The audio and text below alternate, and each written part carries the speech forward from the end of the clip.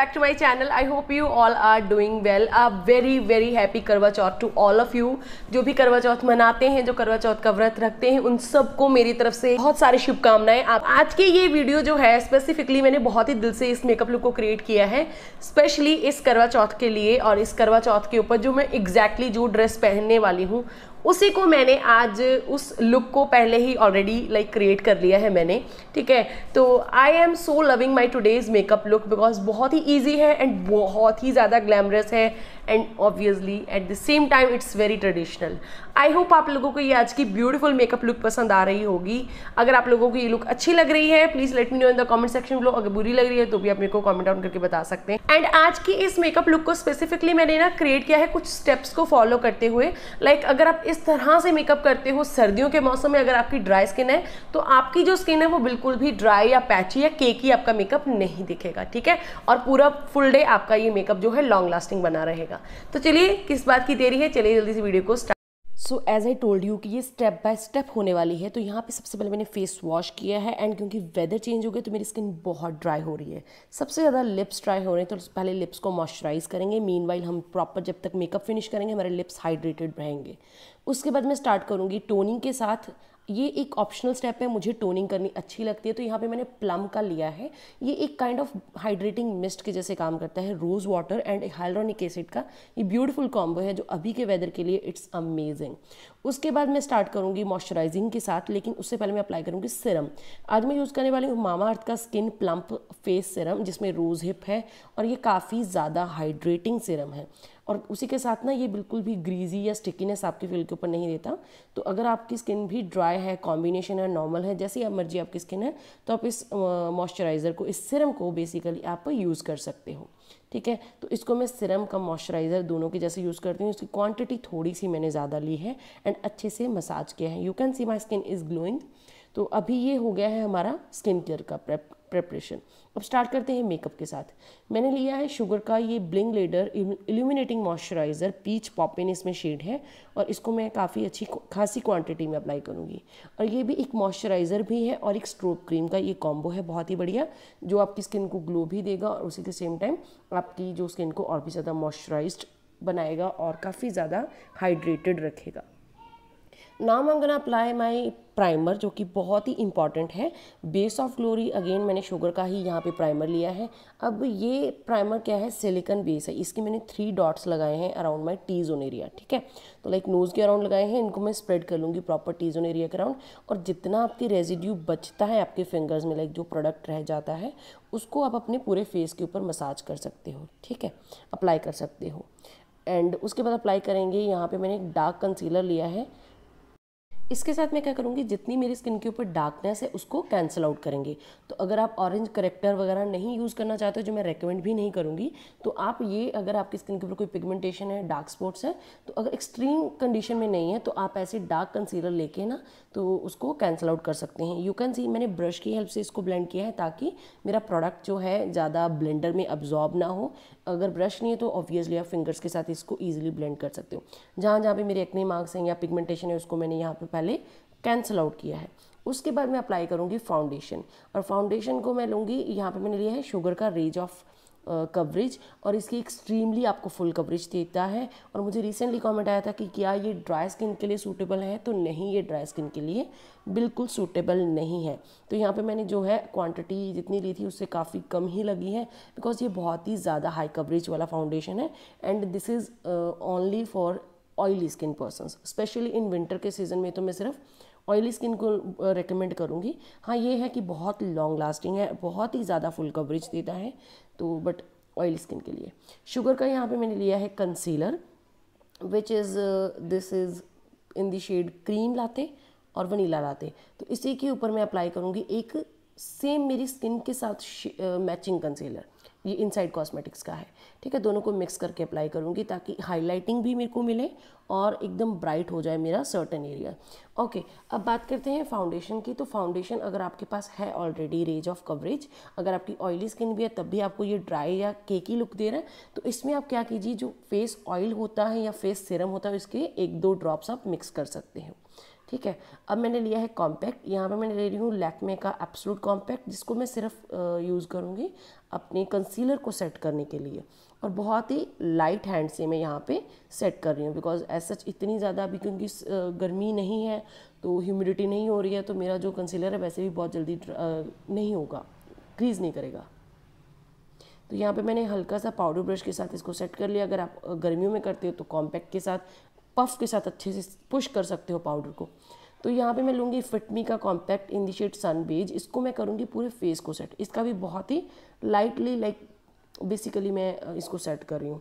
Because ऐसा इतनी ज़रूरत नहीं है। अगर आपकी ड्राई स्किन है तो आप स्किप भी कर सकते हो कॉम्पैक्ट को। अगर आप रेंज ऑफ़ कवरेज शुगर का फाउंडेशन यूज़ कर रहे हो। बिकॉज़ ओबियसली मेरी स्किन थोड़ी सी ऑयली है एक्सेस ऑयली है तो मैं यहाँ पे सेट करना प्रेफर करती हूँ। वेट एंड वाइल्ड का यहाँ पे मैंने कॉन्टोर फेस पैलेट लिया है। यहाँ पे कॉन्टोरिंग शेड लेके अपने यू नो फेस को थोड़ा सा चिजल लुक देने के लिए कॉन्टोरिंग करूँगी और यू कैन सी काफ़ी अच्छे से इसको ब्लेंड करूँगी। और ये जो कैरमल टॉफ़ी शेड है ना, ये आई थिंक सभी इंडियन स्किन टोन्स के ऊपर चला जाएगा। ठीक है? और इसको मैं अच्छे से ब्लेंड करती हूँ ताकि मेरा फेस फीचर्स जो है इन्हांस्ड लगे और फाउंडेशन के साथ जो फेस फ्लैट हो जाता है ना, वो तो बिल्कुल ना लगे। और यहाँ पे लूँगी ब्लश ब्लश मैंने लिया है के ब्यूटी का और इट्स वेरी डिलीशियस बहुत ही अच्छा ब्लश है ये। काफ़ी लॉन्ग लास्टिंग है और मैट है। लाइक लॉन्ग लास्टिंग एंड तक आते आते थोड़ा सा मेरे को बिल्डअप करना पड़ जाता है, लेकिन काफ़ी ज़्यादा मैट है चंकी पार्टिकल्स बिल्कुल नहीं है। अब लूँगी हाईलाइटर यहाँ पे मैंने लिया है वेट एंड वाइल्ड का। बेक्ड ब्लश इसको बेसिकली मैं पूरी चीक्स के ऊपर ही अप्लाई करूँगी, ठीक है? तो यू कैन सी ताकि मेरी जो पूरी स्किन ग्लो करे, ऐसा लगे कि विद इन ग्लो है। बिल्कुल ऐसा नहीं कि सर्टन एरियाज़ के ऊपर अप्लाई करके नहीं रखूँगी, जिसके साथ वो बहुत ही प्रोमिनेंट सा लगे, ऐसा नहीं। बस ब्लेंड करूँगी, जितना भी अप्लाई करूँगी, जो भी प्रोडक्ट अप्लाई करो पाउडर प्रोडक्ट हो कंसीलर हो फाउंडेशन हो वट तो उसको अच्छे से आपने ब्लेंड ज़रूर से करना है। ब्लेंडिंग में आपकी आधी टाइम जाना चाहिए। तो उसके साथ आपका फाउंडेशन या जो भी आप अप्लाई करते हो, वो सीमलेस लगता है। अब सब कुछ अप्लाई करने के बाद मैं अपने बॉडी के ऊपर भी आप अप्लाई कीजिए हाइलाइटर ऑब्वियसली तो उसके बाद मैं अप्लाई करूँगी रेवोल्यूशन का concealer and define setting spray अब ये बहुत ज़रूरी है। आप इसकी जगह पे हाइड्रेटिंग मिस्ट जो सेटिंग मिस्ट होती है, वो भी यूज़ कर सकते हो। आप सेटिंग स्प्रेज ज़रूर से यूज़ कीजिए। उसके बाद यूज़ करूँगी लॉरियल का ब्राउ आर्टिस्ट इसमें आपको एक साइड पे पाउडर दूसरी साइड पे आपको मिल जाता है वैक्स तो सबसे पहले मैं लूँगी पाउडर ठीक है? एक एंगुलर ब्रश के ऊपर, जो कैफ कफ्स एंड लैशेज़ का ये ब्रश है, और अपनी गैप्स को फिल करूँगी, ठीक है? और अपनी जो भी आपके स्पार्स एरिया होता है, सबसे पहले आप उसको फिल कीजिए। सेंटर एरिया को कम ही फिल कीजिए, क्योंकि आप सेंटर में अगर पाउडर प्रोडक्ट अप्लाई करोगे तो आपके बहुत ज़्यादा डार्क लगने शुरू हो जाते हैं।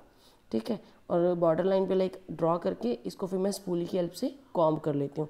तो इवनली जितना पाउडर मैं अप्लाई करती हूँ, वो भी अच्छे से स्प्रेड हो जाते हैं मेरे आईब्रोज में और काफ़ी नेचुरल लगता है। स्पूली तो ज़रूर से आपने यूज़ करना है ना? अदरवाइज़ नहीं तो बहुत आर्टिफिशियल फेक लगते हैं। अब मैंने लूज़ पाउडर लगाया है काफ़ी अच्छी क्वांटिटी में शुगर का ट्रांसलूसेंट पाउडर बिकॉज़ मैं थोड़े से डार्क शेड यूज़ करने वाली हूँ तो फॉल आउट होगा तो वो गिरेगा नहीं। के ब्यूटी का wild and free eye shadow palette लेके मैं इसमें से ये bottle green kind of shade लिया है मैंने बिकॉज़ मेरी स्कर्ट जो है वो बिल्कुल इसी शेड की है। और हॉल बहुत जल्दी आने वाला है, जिसमें मैंने मिंत्रा की ये आप लोग से शेयर करूँगी हॉल वीडियो तो ये शेड लेके ग्रीन शेड लेके मैं सिर्फ़ आउटर कॉर्नर पे अप्लाई करूँगी और इसको हल्का हल्का सा पुश करूँगी अपनी ट्रांजिशन की शेड की जैसे जैसे।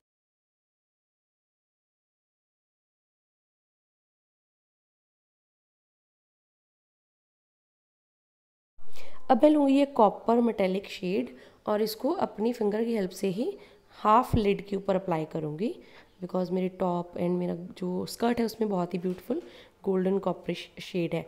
तो इसी के साथ ना हमारा जो लुक है ना आई का यहीं पे कंप्लीट होता है। बहुत ही ज़्यादा कॉम्प्लिकेटेड नहीं करेंगे। और मैंने हल्का सा ग्रीन शेड लेके ना थोड़ा सा डेप्थ दी है अपने आउटर वी को। ठीक है? अब अप्लाई करेंगे आईलाइनर आईलाइनर के लिए मैंने लिया है मार्स का पेन आईलाइनर और बहुत ही अच्छे से एक छोटी सी विंग ड्रॉ करूँगी। ठीक है? और यहाँ पे मैंने क्लिप थोड़ी सी फास्ट कर दी है बिकॉज़ आईलाइनर लगाने में मुझे थोड़ा सा टाइम लगता है।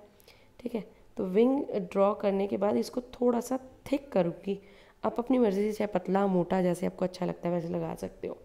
सो so, यहाँ पे मैंने लूज़ पाउडर को हटा दिया जितना भी एक्सेस में था ट्रांसलूसेंट पाउडर उसको हटाने के बाद मैं अप्लाई करूँगी काजल। नायका का ब्लैक मैजिक काजल लूँगी और इसको अच्छे से बहुत ही हैवीली अप्लाई करूँगी। थिक काजल अप्लाई करूँगी बेसिकली अब काजल मेरा स्मच ना करे एंड बज ना करे तो इसलिए मैं अप्लाई करूँगी ब्लैक आई शेडो ठीक है? और इसमें से ये एंगुलर ब्रश लेके ना उसको मैं स्टैम्प करूँगी जहाँ जहाँ पे काजल अप्लाई किया है। इसके साथ मेरा जो काजल है जो आईज़ हैं और भी लाइक काजल मेरा और भी प्रोमिनेंट होगा और एकदम नीट क्लीन लुक मिलेगी आपको काजल की। अब मैं लूँगी फ्लफ़ी छोटू सा ब्रश और ये ग्रीन बॉटल ग्रीन शेड लेके इसको मैं अपने स्मच कर लूँगी जो, जो मैंने ब्लैक काजल अप्लाई किया था जो ब्लैक शेड अप्लाई किया था। ठीक है? अब मस्कारा अप्लाई करूँगी लैश सेंसेशनल मेबलिन का और अब अच्छे से अपने ऊपर के आई को एंड अपनी लोअर आई को अच्छे से कोट करूँगी।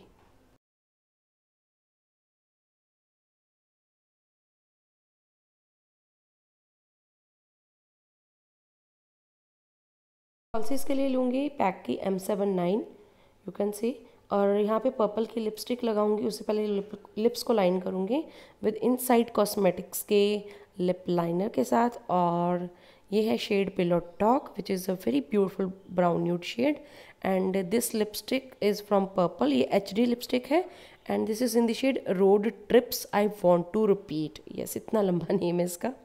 सो या दैट्स इट तो विद डैट मेरी जो है लुक वो हो जाती है कंप्लीट और आई uh, होप आप लोगों ने इस ट्यूटोरियल को इन्जॉय किया होगा।